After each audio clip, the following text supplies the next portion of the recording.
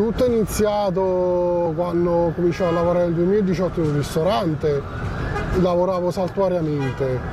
Eh, poi a un certo punto quando ci fu la pandemia del Covid nel 2020, precisamente a giugno, eh, mi fecero l'offerta di lavorare tutti i giorni lì, 20 euro al giorno. Quindi una paga da fame, possiamo Sì.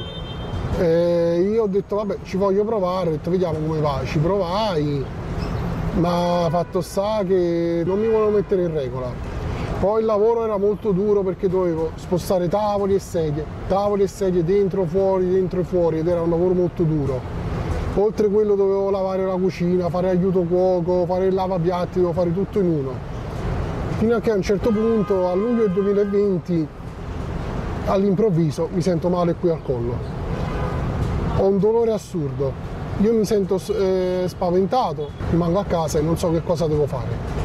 Inizialmente mi col mio medico di base, però mi dice guarda evita di andare in ospedale perché è pieno di covid e non sapeva che fare.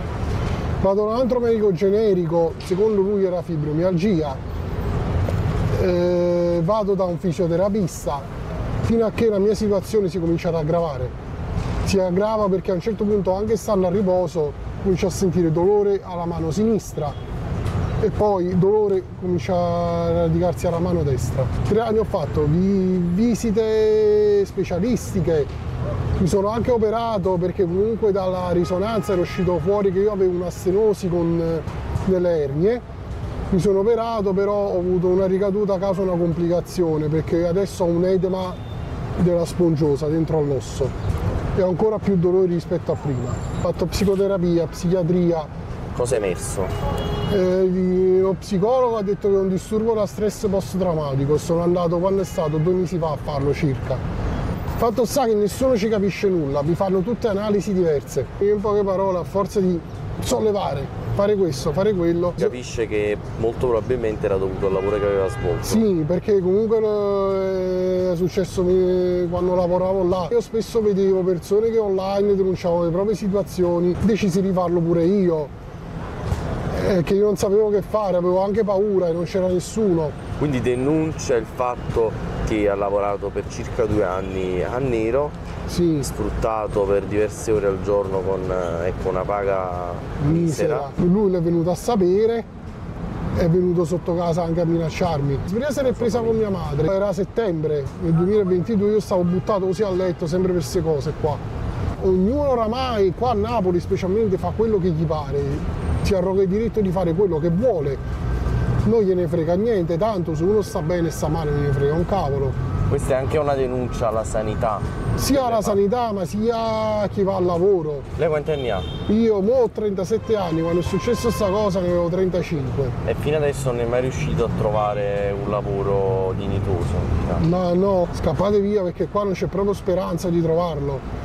Sia perché non ci sono leggi adeguate, sia perché qua tanto ognuno, gli imprenditori oramai siamo a livello della camorra proprio, cioè fanno quello che gli pare, non se ne fregano di leggi e nient'altro. Eppure se vuoi denunciare bisogna vedere quanto tempo passa e che fanno. Ma scappate via, andatevene direttamente all'estero. Io adesso quello che chiedo è una pensione di invalidità perché eh, pur volendo, anche se riuscissi a fare qualche piccolo lavoro, io poi mi sento male, io sto male in continuazione, non so che fare. Vorrei trovare una cura. E non ha avuto risposte dalle autorità competenti. Ho fatto segnalazione all'Inps, cioè mando una segnalazione all'Inps per l'invalidità, ma sto ancora aspettando da mesi.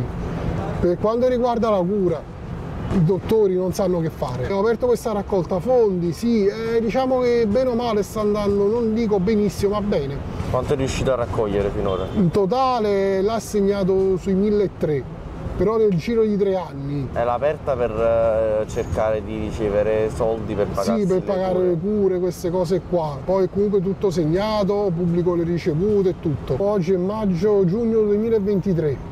Io non lo so che fine farò. Io non lo so, io ho paura. Mm, C'è poco da fare per me.